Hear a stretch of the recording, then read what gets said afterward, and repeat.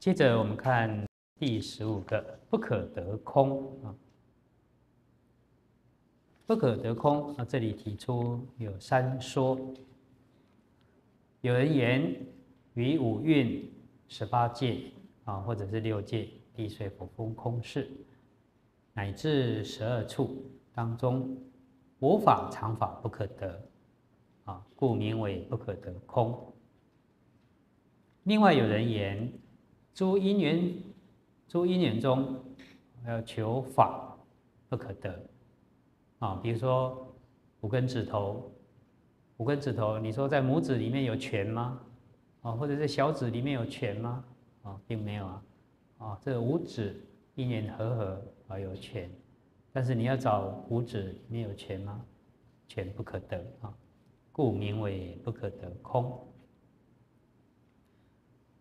第三说，有人言，一切法及因缘，毕竟不可得。不但这个果不可得，它的因缘也不可得，故名为不可得空。好，问曰，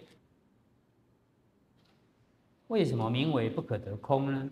啊，是因为智力少的缘故，呃，不可得呢？还是说？实无而不可得。好，论主回答啊，其实是诸法实无自性呢，所以不可得，并不是说智力薄少而不可得。好，再来问曰：如果是这样的话，那不可得空跟毕竟空、自相空就没有什么差别啦？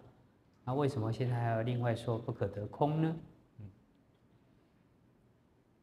好，答曰：如果有人听闻以上种种的空都无所有，啊，心里呃产生部位啊，啊生疑惑。那么现在说，为什么是空的理由啊？因为你求所不可得啊，你你找不到有一个实在的法可得啊，啊，来说空空的理由。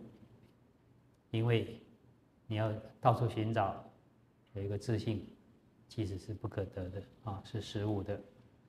呃，为他说不可得空啊，为了断除这样的怀疑部位，呃，佛说不可得空。所以者何？佛言：我从初发心乃至成佛及十方佛，于诸法中要找一个实有的自信，其实是不可得了。这就名为不可得空。好，外人就问：那什么东西不可得呢？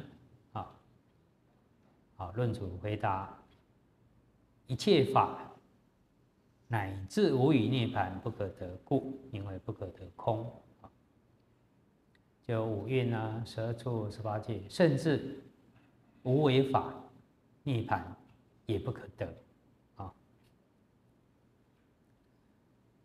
另外，不得杂烦恼，名为不可得空啊，就是不得贪嗔痴三毒啦，啊，或者是瀑流啦，四福五盖，六爱七使，八邪九劫十恶啊，啊，这个内容角度都有哈，就是种种弊恶的污垢烦恼等都不可得，啊，这个名为不可得空啊。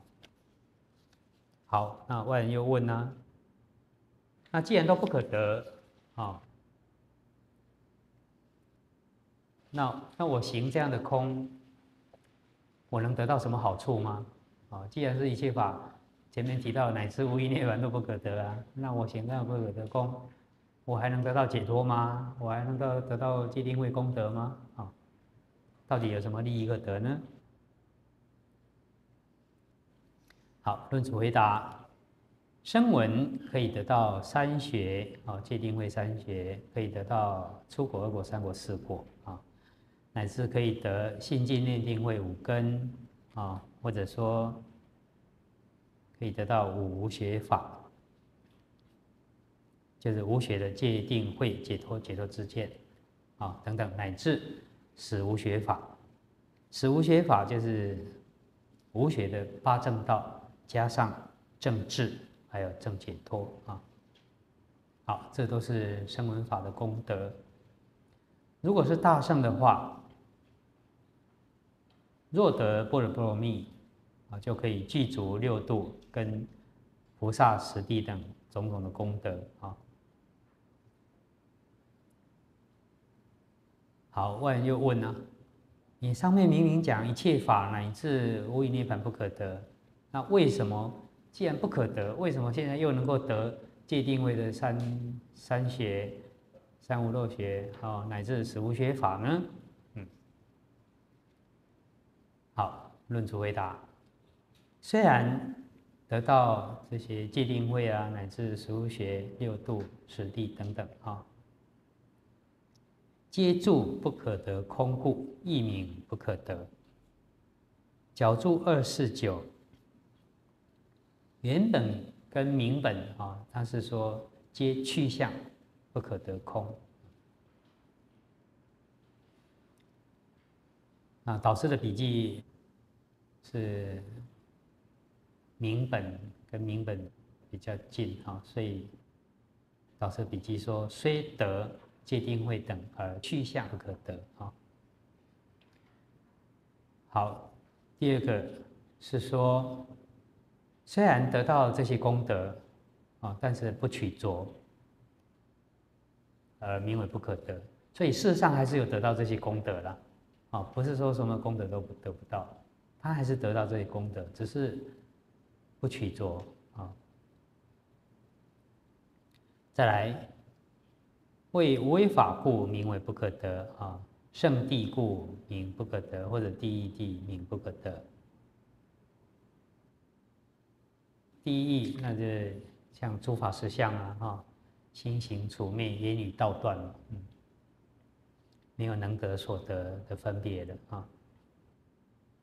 再来，圣人虽然得诸功德啊，入无余涅盘故不以为得；而凡夫人啊，他以为大德啊，就像狮子，虽然有所作，不以为奇啊，可是其他的众生啊，就觉得很稀奇。